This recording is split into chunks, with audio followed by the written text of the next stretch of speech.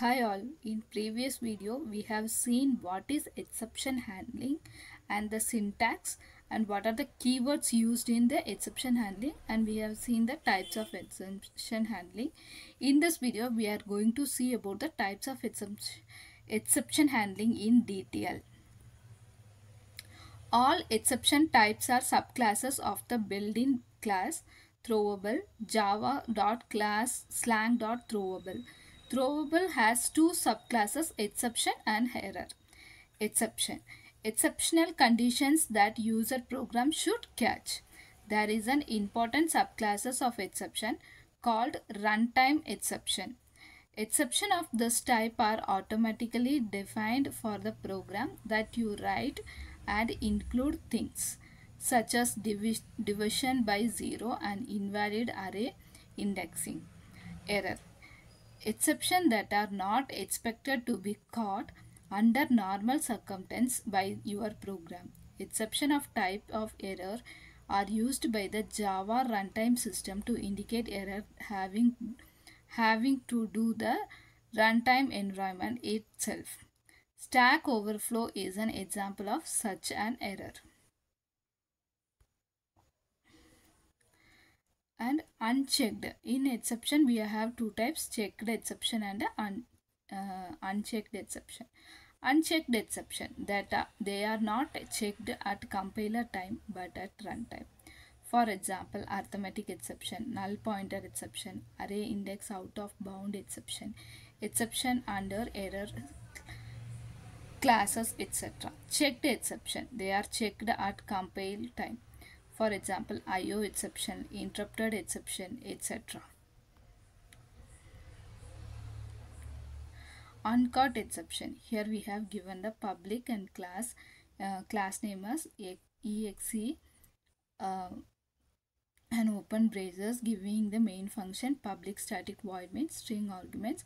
Here we are uh, giving the data type int d is a variable and equal to 0 we are giving the value of 0 int a equal to 42 by d and closing the in this example we have not supplied any exception handler of our own. So the exception is caught by the default handler provided by a java runtime system. An exception that is not caught by your program will automatically be processed by the default handler okay if you are not giving any exception handling in the program means it will be considered as a default uh, handler. Here is a exception generated when this example is executed. java.lang.arithmetic ex expression that is divided by 0 at x may okay this output we won't get because it, they have given the 42 by 0 will be invalid so divided by 0, we have already said that divided by 0 will not we get the output.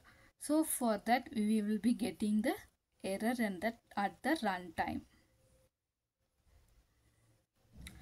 What if I want to handle exception by myself manually? Using try and catch. Manually handle exception. It has two benefits. First, it allow you to fix the error Second, it prevents the program from automatically terminating.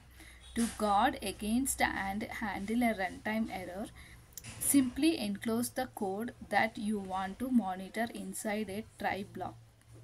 Immediately following the try block, include a catch clause that specifies the exception type that you wish to catch. We can see a small example. What if I want to handle exception by manually? Here we are using the try and catch for the program. That public class name we are giving as exe2 and uh, opening that and main function public static void main. Here we are giving the int as a data type and two variable d comma a. Then we are using the try keyword. In that we are giving the monitor of a block of code. Here that we are giving the d equal to 0 and a equal to 42 divided by d. And we are giving the output output line as this will not be printed. After that closing that we are giving the catch keyword arithmetic operation exceptional e system dot uh, dot print line equal to division by 0 then closing that after that we are giving the another print line hello i got exception. Then after that closing. Note that the call to print line inside the try block is never executed. Once an exception is thrown program control transfer out of the try block into catch block multiple catch uh, multiple catch clauses in some cases, more than one exception could be raised by a single piece of code. To handle this type of situation, you can specify two or more catch clauses. Each clause is a different type of exception. When an exception is thrown, each class statement is inspected in order and the first one whose type matches that of the exception is executed. After one catch statement executed, the another others are bypassed and execution continue after the try or catch block. Multiple catch clauses we have given a small example. Multiple catch sorry public class we are giving the class name as multiple class multiple catches and opening that and giving the main function public static void main string arguments and we are giving using the keyword and giving that string a equal to null and the print line is a equal to plus a dot length. Int b equal to 42 by 0 int c of c of array equal to 1 comma 2 comma 3 c of 5 equal to 99 and closing that. After that we are using the catch keyword